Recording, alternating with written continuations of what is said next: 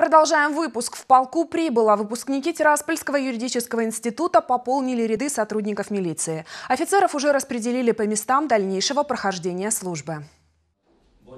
За плечами каждого несколько стажировок. Они уже не те юноши, которыми пришли на первый курс. Но волнуется каждый. Побороться за лучших курсантов приехали из всех подразделений МВД республики. Такая практика, сложившаяся по распределению курсантов Тираспольского юридического института, э, по моему личному мнению, субъективному, является э, правильной. Потому что курсанты, обучаемые 5 лет в Тираспольском юридическом институте, овладевают определенными теоретическими знаниями и в течение полугода прохождения стажировки по линии обучения э, набираются практического опыта и умело применяют полученные теоретические знания на практике. Владимир с самого детства мечтал связать свою жизнь с работой в правоохранительных органах и пойти по стопам отца. Я пять лет работал на данном направлении и наконец-то добился своего. И надеюсь, в дальнейшем мне возложат мне обязанности исполню в полном объеме.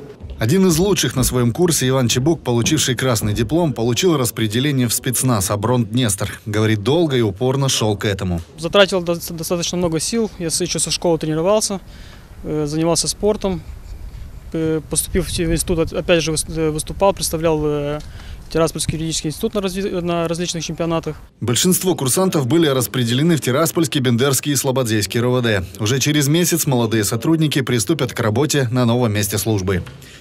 Николай Стоянов, Денис Гуляев, Александр Чебан, Первый Приднестровский.